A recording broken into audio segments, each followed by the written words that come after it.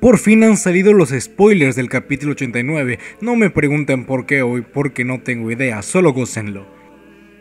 El capítulo comienza con Eren quejándose con Levi por alguna razón. Bueno, la razón parece ser que es porque van a ser llevados a un juicio.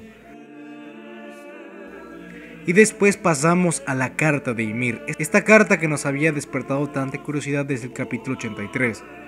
La carta por fin ha llegado a su destinataria. Historia Reis.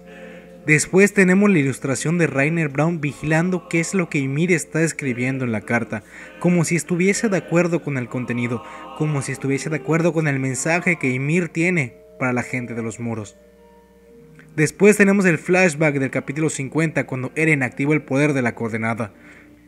Después tenemos a una versión niña de Ymir que se encontraba aparentemente en la calle y es encontrada por un señor. Este señor aparentemente la comienza a venerar. Algo muy curioso es que la joyería que lleva es muy similar a la de la gente del culto a los muros. Incluso parece que por alguna razón Ymir es especial. Lo más factible era lo que se mencionó en el capítulo anterior, que cuando un poseedor de los nueve poderes titanes muere, el poder reencarna en otro diano. Aparentemente y por lo que podemos ver, la gente de este culto a los muros fue interceptada por lo que parece ser el ejército de los Mare. Esta persona que había recogido a Emir la acusa de algo, y te repito, me parece muy similar al culto a los muros. Además que tendría una relación con lo que Ymir dice en el castillo de Udgar. Yo también pienso que no debí nacer. Por solo hecho de llegar a este mundo, la gente me odia y por el bien de mucha gente buena, morí.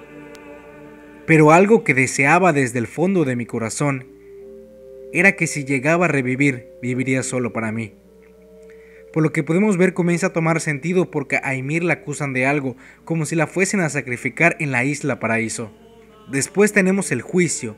¿El juicio por qué? Bueno, dirán muchos que es porque se pospuso el de Eren que estaba originalmente planeado para cuando la Legión de Reconocimiento recupere la Muralla María, pero creo que no hay nada que decir sobre Eren y por lo que podemos ver Folch como los demás de la Legión de Reconocimiento que quedan están detrás en el público.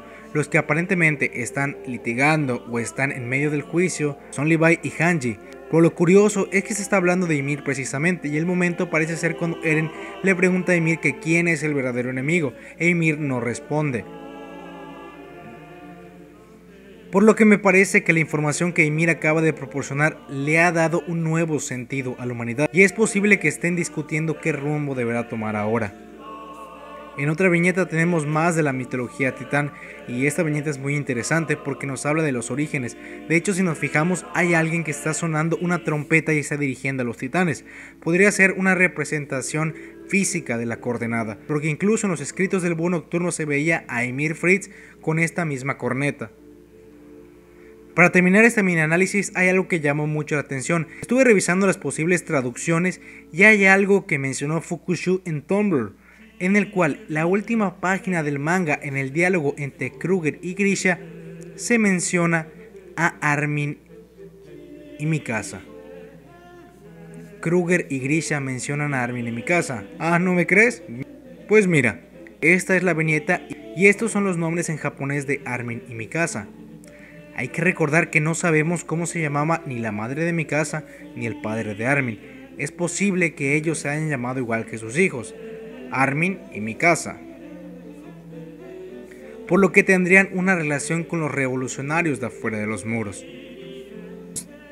Incluso este niño herdiano tiene cierto parecido con Armin.